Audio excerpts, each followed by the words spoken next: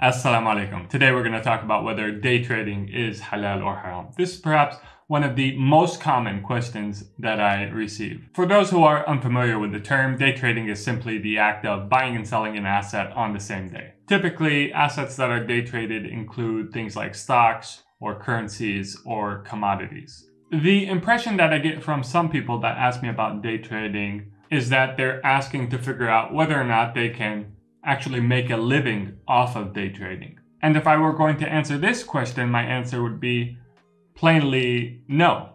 It is highly unlikely for the average individual to be able to make a living off of day trading.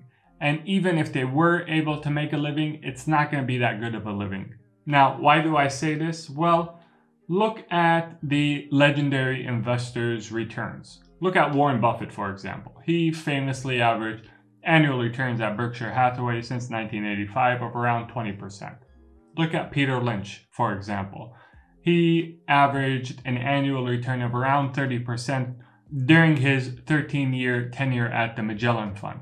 So, if you're able to average 20 or 30% annual returns from investing, you're doing as good as the top 1% of investors out there. Not to mention the fact that day traders are typically far less profitable than value or growth investors, as Warren Buffett and Peter Lynch are. But let's say as a day trader, you're able to match the type of returns that Peter Lynch and Warren Buffett were able to achieve. So you were able to get 20 to 30% average annual returns over an extended period of time. Assume this is the case for argument's sake.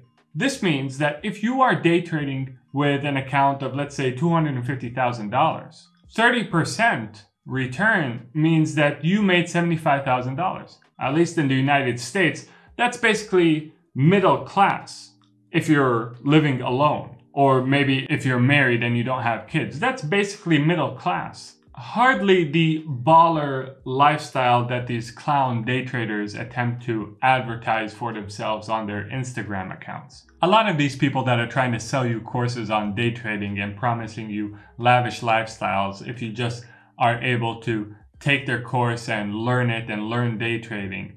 A lot of them are just bozos. They don't know what they're talking about. They couldn't tell you the difference between common stock and livestock. Beware of these people, avoid them like the plague. And just think about it. If they were so good at day trading, if they were making so much money from day trading, why do they need to sell you a course on it? Now, yes, sometimes day traders will make a lot of money in a short period of time from a trade or two that they do that turns out to be very profitable. Yes, this happens sometimes. But believe me, just as they made that money really easily and really quickly, they can lose that money very easily and very quickly. And more often than not, that's exactly what they do. This is why I've been pushing M1 Finance on this channel. One of the reasons why I like M1 Finance is because they execute all their trades at the same time of day. So they really discourage day trading by doing so. And if you're in the United States and you'd like to try out M1 Finance, use the link in the description to support the channel. Now, not all of you are looking to get into day trading to make a living off of it. Some of you are simply asking to figure out whether or not you can use it as a source of some side income or maybe just to have some fun. So in this video, I'm going to examine from a technical perspective if there are any Sharia violations in day trading. And so without further ado, let's get started.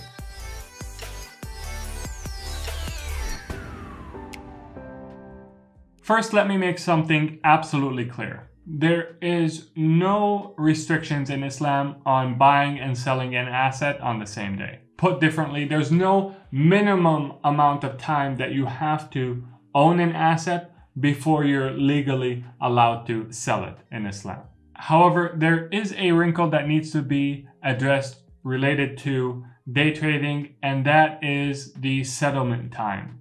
Trade settlement is the process wherein the stock or the thing that was bought is transferred to the buyer's account and the cash is transferred to the seller's account. Typically, this trade settlement takes around two to three business days. So if trade settlement takes two to three business days, how are people day trading? If the cash only gets to the seller's account after two to three business days and the thing that was bought only gets to the buyer's account after two to three business days, how are people actually day trading? That is, buying and selling within the same day. Here, we must make a distinction between cash brokerage accounts and margin brokerage accounts. Cash brokerage accounts require all transactions to be done with settled cash. So if you want to buy, you have to buy with cash that is in your account.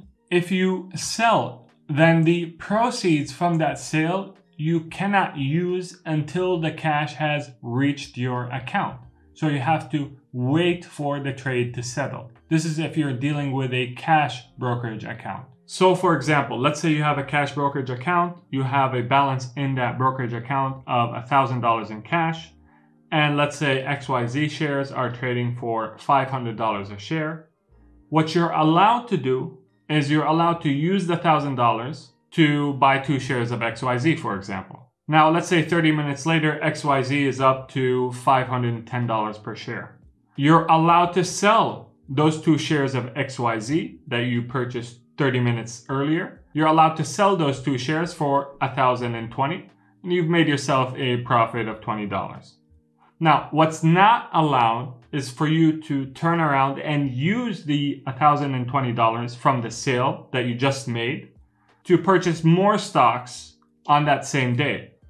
Since you're dealing in a cash brokerage account, that is, you have to wait for the cash to actually be in your account, you have to allow the sale to settle before you can use the proceeds from the sale to make any additional purchases. Now, some have argued that since it takes two to three business days for a trade to settle, it is unlawful for the buyer of stocks to then sell those stocks before those stocks have reached his account because possession of those purchased items has not yet been established. And there are a number of relevant hadiths here. For example, perhaps the most well known hadith is that of Hakim bin Hizam, may Allah be pleased with him, when he reports that the Prophet, peace be upon him, told him, Do not sell what is not with you. So the stocks are not actually with the buyer until the trade settles, and therefore that buyer should not be able to sell those stocks until the trade settles. Here, most commentators are in agreement that with you, that is, having possession, can either be physical possession or it can be constructive possession. Physical possession is, as the name suggests, when the item is actually with you. Constructive possession is when you control the item even though it may not necessarily be with you. So for example, a thief can be charged with stealing a credit card even though they may have only taken the numbers of that credit card they still may be charged with stealing that credit card because they had constructive possession of that credit card, even though the physical credit card never got into their physical possession. But because they had the number of the credit card, they had constructive possession, and therefore they were charged with theft. In terms of buying stocks, the buyer establishes constructive possession of the stocks they purchased the moment the transaction goes through, as is evidenced by the fact that the buyer bears the full risk of ownership in terms of profit or loss the moment the transaction goes through. Accordingly, I don't see the act of buying shares and selling them on the same day as a violation of the rule not to sell what is not with you. So, with regards to cash accounts, it is my position that what you're allowed to do is basically permissible in Islam. That is, you are allowed to purchase a stock and then sell it on the same day, but you're not allowed to use the proceeds of a sale to make an additional purchase until the cash is actually in your account. Now let's talk about the second type of brokerage account, which is margin brokerage accounts. And before we talk about margin brokerage accounts, let's go through a quick refresher on what riba is. So a loan of money can be one of two types in Islam. It can either be a charitable loan, qard hasan. This is a loan that's given as a pure act of charity with no expectation by the lender of any benefit from the loan other than pleasing Allah subhanahu wa ta'ala. And then we have a ribawi loan, and this is a loan wherein the lender expects some worldly benefit to accrue in their favor as a result of this loan.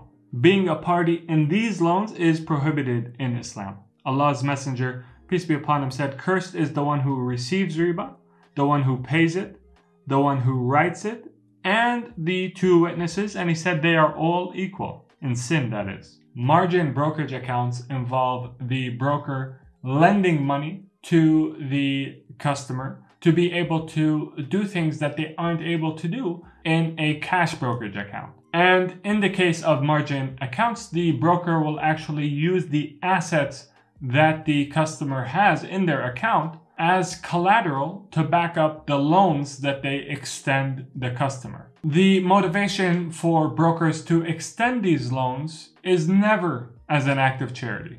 They're either earning money from the interest that they charge the users of these loans, or they're making money on the back end from the trades that are made with the money that is provided by these loans. In any case, as we mentioned, the broker is never providing these loans as an act of charity, and therefore these loans can only be ribawi loans that are haram to be a part of, even if they don't explicitly involve interest. Interest is only one form of riba, but it's not all encompassing of all forms of riba. Any expected benefit that the lender foresees from engaging in lending, that is, whenever the lender is engaging in lending not as a pure act of charity, this is riba. Any expected benefit from this loan is riba. The term Islamic margin account is an oxymoron. It doesn't make any sense. You can't have an Islamic loan for profit.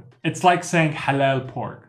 It doesn't exist. Now, since trades settle only two or three days after the trade is made, and therefore cash only reaches the seller's account two or three days after a sale is made. In order for the seller to use the proceeds from a sale to make another purchase on the same day, they have to use margin from their broker. In other words, the seller will need a short term loan from their broker to use the proceeds from their sale before the actual cash from their sale has settled in their account. This loan that is extended from a broker to a recent seller in order for that person to use the proceeds from the sale to make another purchase on that same day, this loan is a ribawi loan.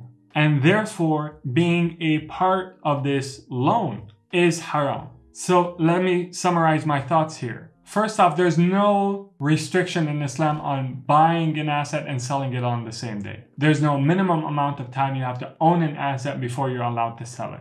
So if you buy a stock and you want to sell it on that same day, no problem there. However, if you sell a stock, since it's going to take two to three business days for the cash from that sale to reach your account, if you want to use that cash before it reaches your account, you're going to have to take a loan from your broker. This loan that your broker is extending you is a ribawi loan because the broker is expecting benefit from it. And therefore, this loan is haram to use. So the only legal way to use the cash proceeds of your sale is to wait for that cash to settle in your account. If it's not settled in your account and you're using it, you're actually not using it. You're using a loan from your broker. This is a ribawi loan and it's haram to use. Now, if you're able to find a broker that does immediate cash settlement of your sale, then in theory,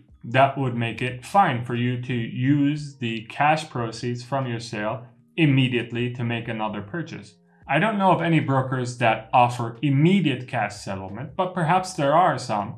And to the extent that there are, then this would be halal from a technical perspective to engage in. But as far as I know, the standard in the industry is two to three days settlement. And therefore, in order for your trades to be legal from a Sharia perspective, you have to wait until the cash actually settles in your account before you try to use that cash to make another purchase. Again, all this talk about Islamic margin is just nonsense. It's like saying halal pork, as I mentioned. There are no loans in Islam that are given out for reasons other than charity that are halal to be a part of. Period. And don't let anyone confuse you with anything else than what I just told you. There are two loans in Islam charitable and ribawi loan. If it's not the former, it's the latter. Guaranteed. I hope you found this video beneficial. I hope it cleared from a technical perspective whether day trading was halal or haram. If you found anything in this video beneficial, leave a like, subscribe for more content like it. Check out M1 Finance if you're in the United States and you're looking to buy stocks. Use the link in the description to support the channel. Until next time, make sure to take care of yourself. Assalamu alaikum and peace be upon you all.